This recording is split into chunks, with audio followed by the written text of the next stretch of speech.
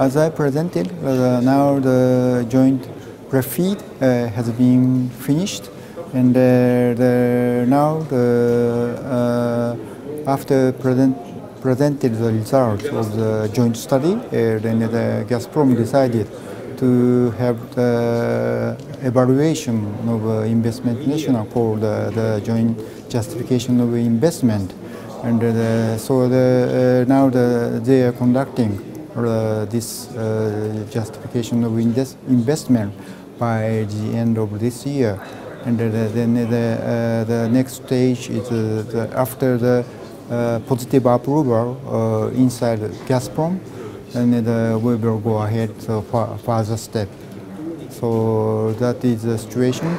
And uh, as for the Japan Far East gas, uh, so uh, we would provide assistance for any assistance required uh, for completing the justification of the investment by Gazprom. This is very good opportunities to have uh, the networking uh, between the contractors and uh, some licensors and some project promoters of other project and, who has experience in the, these areas. So the, that uh, the networking is uh, very important for uh, the promoting the uh, project. This is very good opportunity uh, for the presenting the, our project because the uh, the Sakhalin is one of the potential gas source for this project, and the, I think the many of the, these participants have not known about